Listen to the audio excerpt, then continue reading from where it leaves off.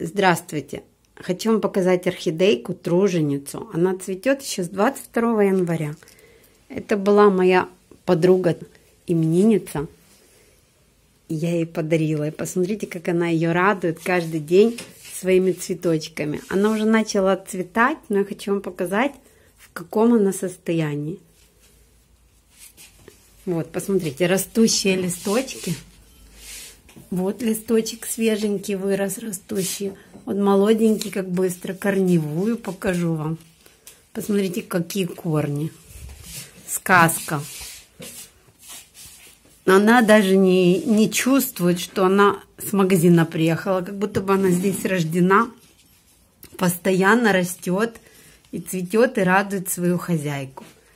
Это цветение необычное. Вообще эта орхидейка труженица настолько,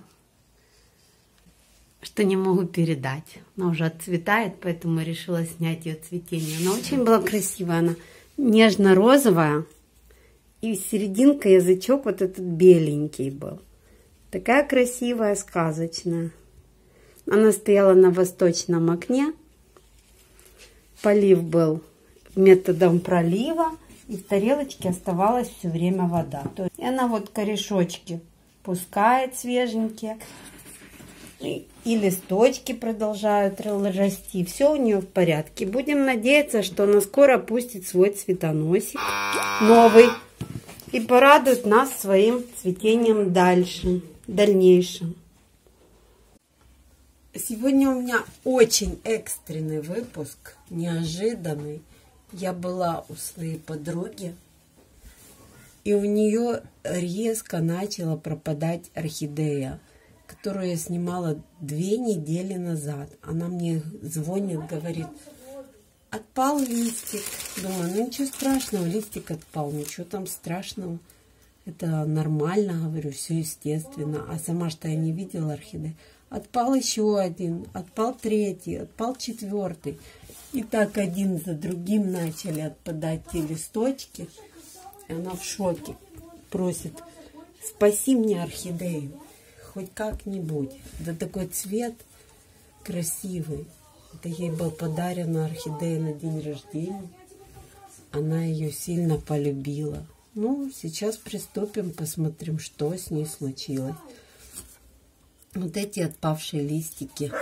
Снять чешуйки, посмотреть что-то тут все черное, мокрое. Кстати, начинать нужно всегда с корней. Корни у нее, я смотрю, на первый взгляд, корни даже ничего. Живые, хорошие, растущие, не закукленные.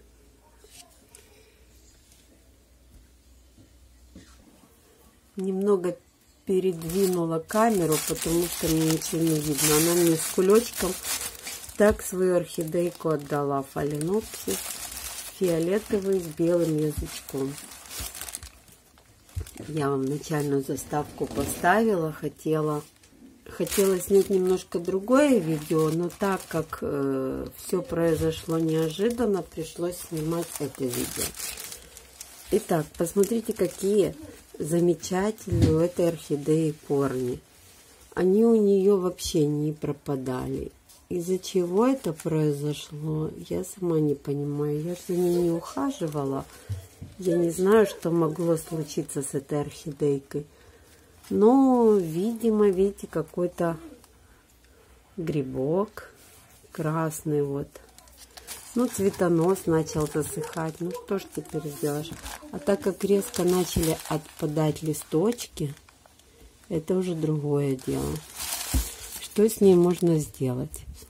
Самым первым делом я отрежу этот цветонос. Он отсох и в грибке.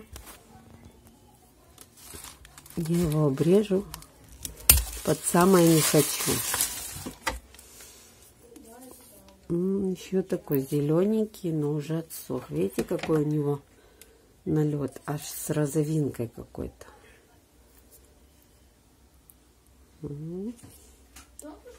Какая-то инфекция попалась, еще такой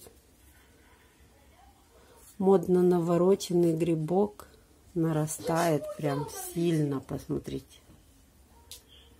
Если кто знает, что это, напишите мне, потому что я с таким сталкиваюсь первый раз. Сколько лет я занимаюсь орхидеями, вот такого вот чуда я не видела, чтобы так сильно наросло. Затем сам стволик. Смотрите, что я сняла верхние чешуйки от тех листочков, которые отпали. Вот оно мокнущее. Неудобно. Вот тоже мокнущие эти. Весь грибок. Ну, что сделать? Отделим его от самого, от корней, потому что вот эта вот часть пропадает. А хотя не отделим. Знаете, что я сделаю? Я сделаю другое. Сейчас я это все вот так зачищу. Чешуйки вот эти все сниму. Это будет самый правильный вариант.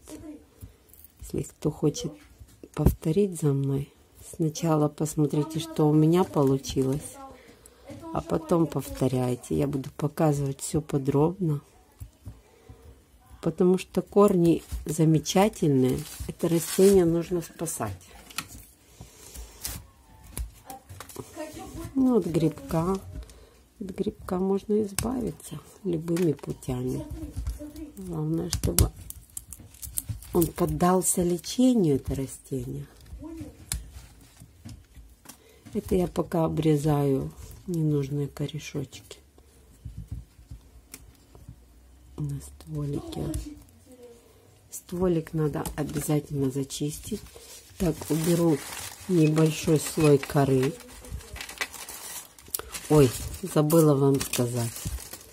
Не хотела пересаживать но надо пересадить экстренно. Сейчас я выму эту орхидейку из горшочка и покажу вам, для чего ее срочно нужно пересадить. От этого тоже могло быть случиться эта неприятность. Корешочки уже вылезли из горшочка. Как его вытащить? Ну как, обрежем.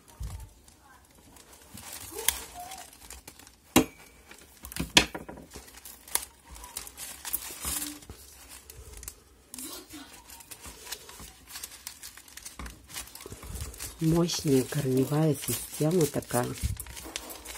Горшок прям полностью забитый корнями. Как такое сильное растение могло испортится. Я прям не понимаю. Ухаживал человек правильно. Все было хорошо. Стояла на восточном окне. Я приходила, смотрела. Все нормально. И вдруг такая ситуация.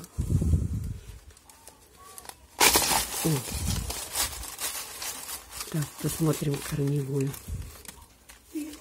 Легонечко уберем все.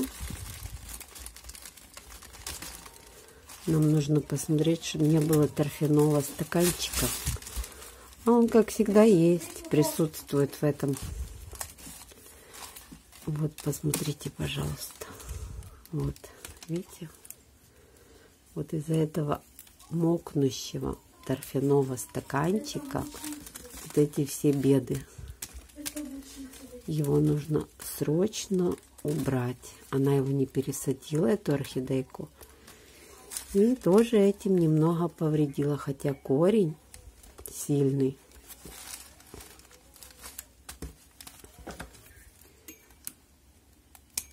Надо убрать его. Видите, что случается с орхидейками, которые на первый взгляд очень сильные, мощные, красивые, крепкие. А из этого торфяного стаканчика со временем происходят такие неприятности. Внутри корни вот белесые. Они не получают достаточно количества э, света. И зеленые они никогда не станут. Это я потихоньку убираю эту губку. Она постоянно мокрая. А нам это не надо. Видите, корневая тоже начала подгнивать. Видите, полностью. Вот если это не зачистить ничего, то с этой орхидейкой толку не будет. Она постепенно будет стоять, стоять, стоять, стоять и придет непригодность. Сначала она вот как сейчас становилась пеньком, а затем постепенно, постепенно и умрет. Ну, этого можно избежать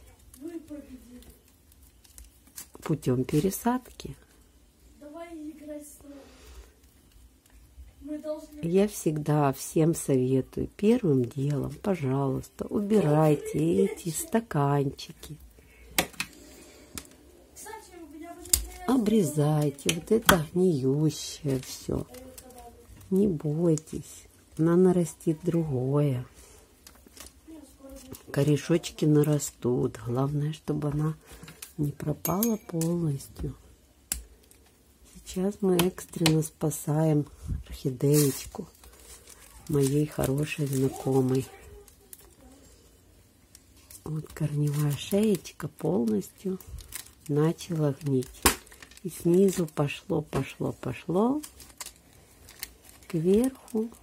И листики начала она сбрасывать. Видите, сколько гнилого.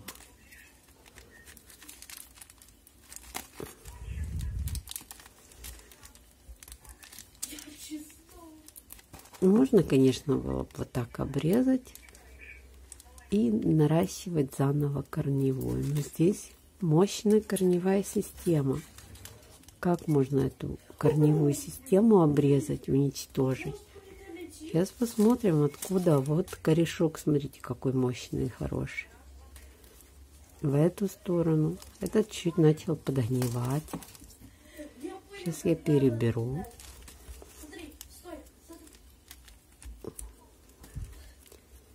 И посмотрю, какой убрать, какой не убрать. Видео получится длинное, но очень интересное. Если кому не интересно, переключайтесь на другой канал. Аккуратно нужно вот эти, которые кора прилипла к растению, снимать вот этот горшочек, который держал торф.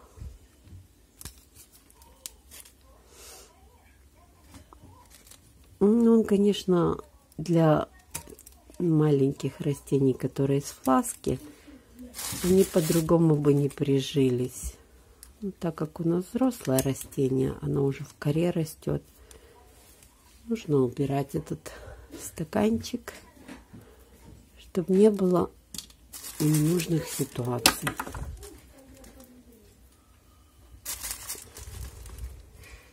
Сейчас я посмотрю, какие корешочки еще убрать.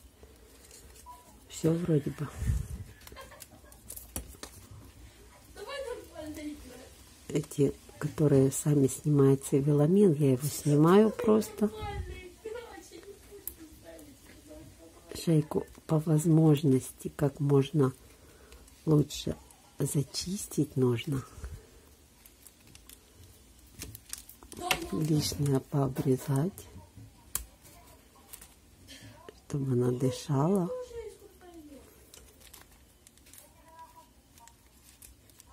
Я хотела снять вообще другое видео. А так как с ней произошла такая ситуация ухудшения состояния здоровья, пришлось к такому видео прийти.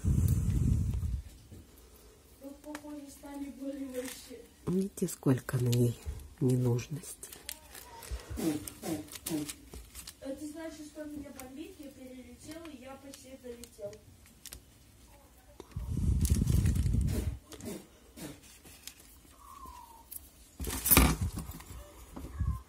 Тихо, тихо, сейчас самое интересное. Я ее, конечно, посажу обратно в кору, так как корней у нее достаточно. Но посажу я ее выше, чем она сидела. Шейка будет на высоте. Стволик сильно влажный. Вот это от корешочка остаток. Надо его срезать.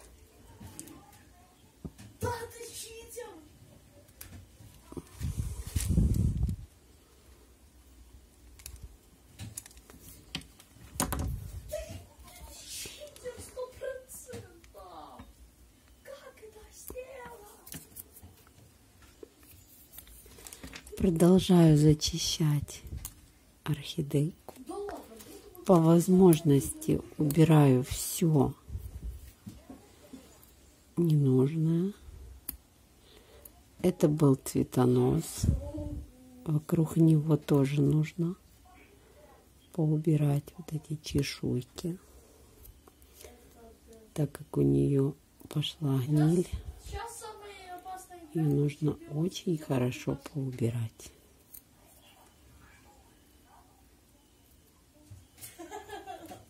А?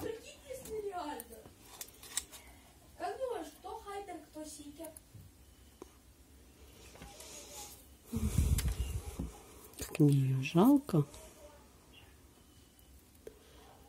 Какая она красивая была. Нет. И до чего она дошла. За две недели я была у подруги. У нее все было в порядке с этой орхидейкой. Только начала цветать цветонос. И я хотела вам снять видео, что нужно делать с цветоносом, если орхидейка отцвела, обрезать его или не обрезать, до какого уровня обрезать, если нужно. Чем обработать цветонос. И вдруг такое случилось. Цветонос начал сразу же засыхать.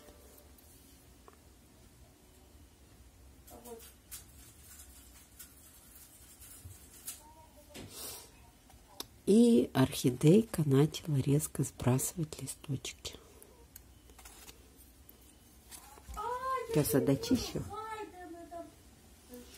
Самый долгий процесс это снимать отсохшие чешуйки у орхидейки. Ну, сколько смогла, вот мокнущая вот это вот пощищала. Будем надеяться, что она выживет. Корневая система точно выживет. Она может дать детку. А верхняя часть. Будем надеяться. Все, больше я ее мучить не буду. Вот в таком состоянии я ее обратно посажу в горшочек. Видите, какая корневая.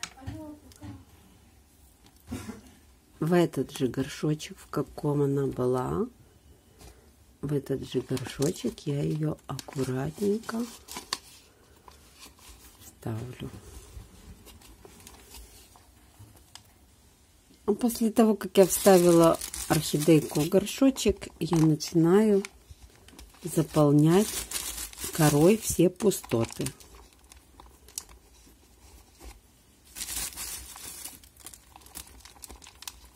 Кору я взяла ту же самую, так как она в хорошем состоянии, посмотрите.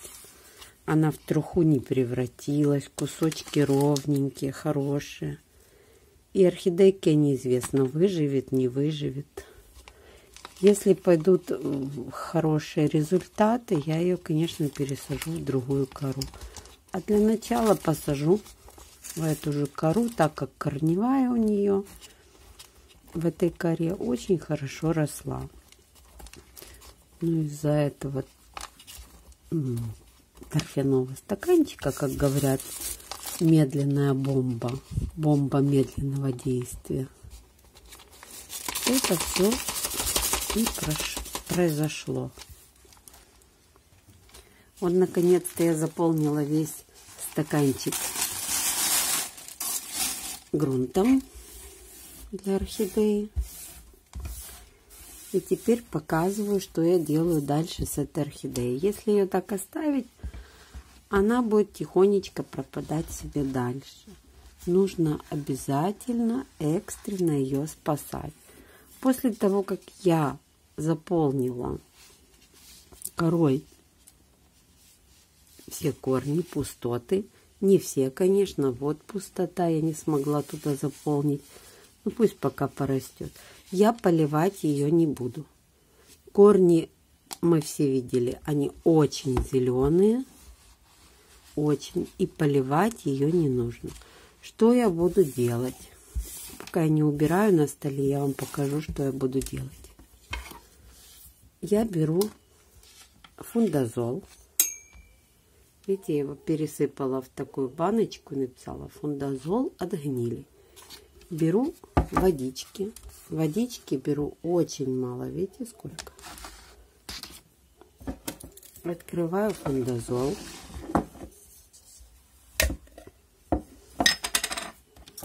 беру одноразовую ложечку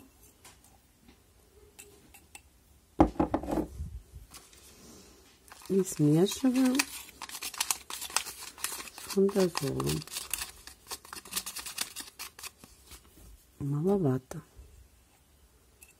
Я беру насыщенный, делаю раствор, так как мне надо хорошо ее намазать.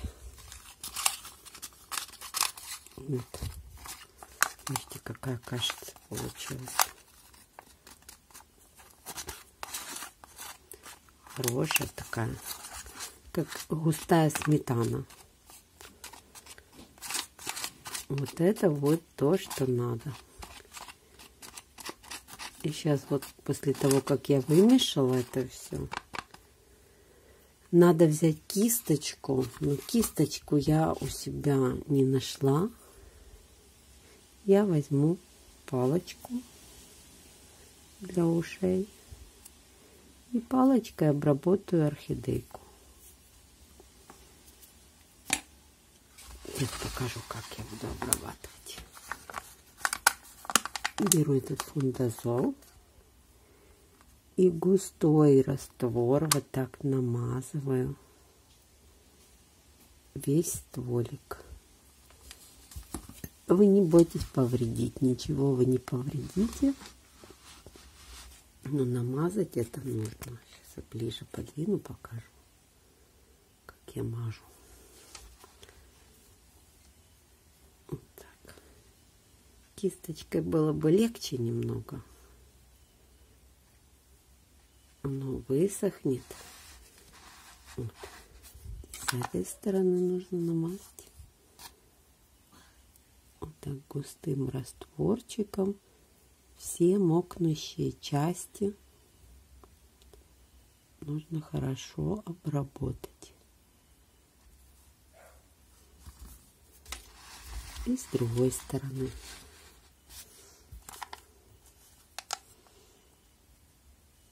По-другому эту орхидейку не спасти.